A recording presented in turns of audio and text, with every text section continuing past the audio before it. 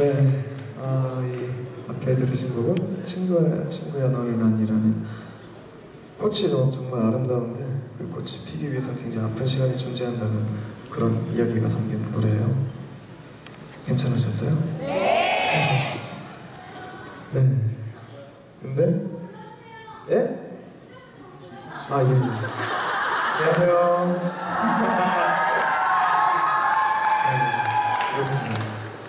생각이 나는 제가 계속 그쪽 보고 여쭤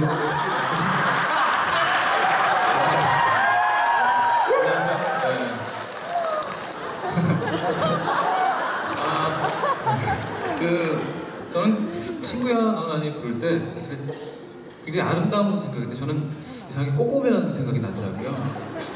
네, 저 그래서 저기 이경규 선배님이 제작하신 어, 전국 노래자랑에 저희가 어, 출연을 해서 잠시 몇 초였지만 어, 몇 초였지만 이 노래가 흘러 나왔었고 아그 노래 거의 주제가 예 주제가로 거기 많이 나왔고 근데 이 꼬꼬면이 한국에서 굉장히 선풍적인 인기를 얻다가 지금 여러분 안 드시고 계시잖아요 그렇죠? 아, 맞아요. 꼬꼬면이 있었죠. 그래서 어떤 이런 유행에 그냥 그렇게 되는 게 아닌가 싶었는데 이 라면이 인도네시아나 동남아시아에서는 완전 선풍적인 인기를 얻고 있다고 해요. 한류 라면이네요. 한류 라면. 예.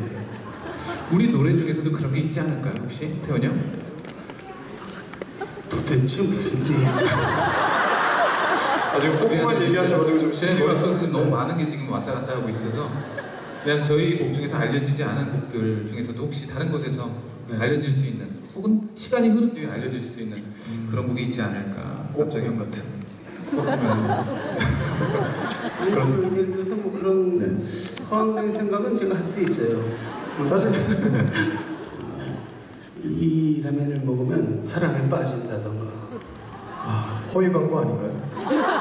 안, 안 빠지면 말고 사실 전에 꼬꼬면 얘기를 하셨지만 그 꼬꼬면의 그늘에 가린 우엉 라면을 기억하시나요?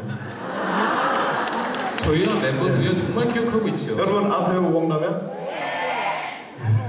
그때 사실은 이제 들려드릴 곡들이 우엉 라면 같은 그런 곡입니다. 빛을 발하지 못했지만 언젠가는 여러분들의 힘으로 빛을 발할 날이 오겠죠? 씨, 우리 우엉 라면에 약간 어떤 계란이나 어떤 고춧가루 같은 그런 양념이 필요할 것 같아요. 네.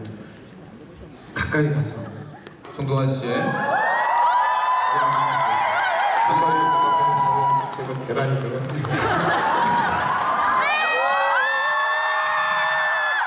그럼 하겠습니다.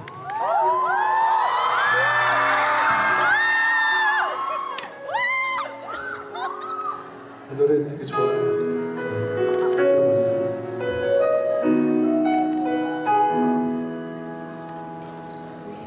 사랑